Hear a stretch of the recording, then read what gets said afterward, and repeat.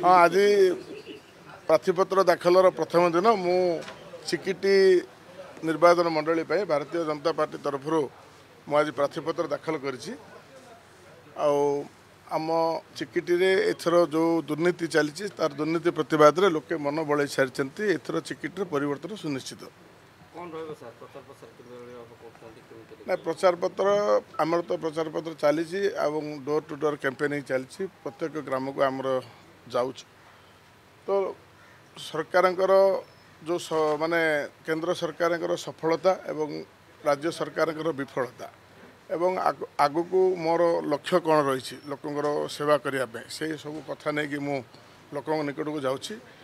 ତ ଲୋକଙ୍କ ଲୋକେ ପ୍ରାୟତଃ ମନ ବଳେଇ ସାରିଛନ୍ତି ଯେ ଏଥର ଚିକିଟିରେ ପରିବର୍ତ୍ତନ ଚିକିଟି ଗଡ଼ରେ ଯାହା ଆପଣମାନଙ୍କୁ ମାନେ କହୁଛନ୍ତି ମାନେ ଯାହା ଆପଣ ଖବର ନେଉଛନ୍ତି ତାହାର ଠିକ୍ ଓଲଟା ହେବ ଏଥର। ପାତ୍ର ଉପରେ ଯେ ପାତ୍ର ଉପରେ ଯେମିତି ଦୁଇ ହଜାର ବାଇଶରେ ପରିବର୍ତ୍ତନ ହେଇଛି ଏଇଥର ଚିକିଟି ପାତ୍ରପୁରରେ ଦୁଇ ହଜାର ଛବିଶରେ ପରିବର୍ତ୍ତନ ହେବ।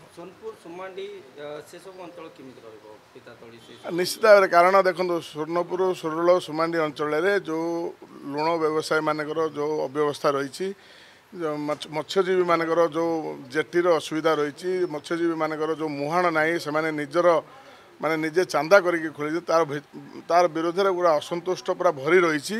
ସୁବାଣୀରେ ଯେଉଁ ଚିଲିକା ଖନନ କରିବା ପାଇଁ ବୋଲିକି ଯେଉଁ ଟଙ୍କା ଆସିଥିଲା ସେ ଟଙ୍କାକୁ ଖନନ ନାଁରେ ପୁରା ହରିଲୁଟ୍ କରାଯାଇଛି। ସେଥିପାଇଁ ସେ ଲୋକ ପ୍ରାୟତଃ ମନ ବଳେଇ ସାରିଛନ୍ତି।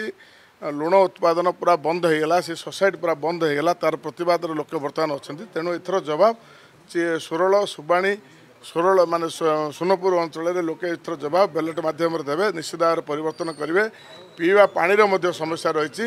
ସାତ କିଲୋମିଟର ଦୂରକୁ ଯାଇକି ଗୋବିନ୍ଦପୁର ଛକରୁ ସେମାନେ ମିଠା ପାଣି ନେଉଛନ୍ତି। ସେମାନଙ୍କୁ ଆଜି ପର୍ଯ୍ୟନ୍ତ ପିଇବା ପାଣିର ମଧ୍ୟ ବ୍ୟବସ୍ଥା ପଚିଶ ବର୍ଷ ସରକାର ହେଇପାରିନି। ତେଣୁ ନିଶ୍ଚିତ ଭାବରେ ଲୋକ ଏଥର ମତ ପରିବର୍ତ୍ତନ କରିବେ।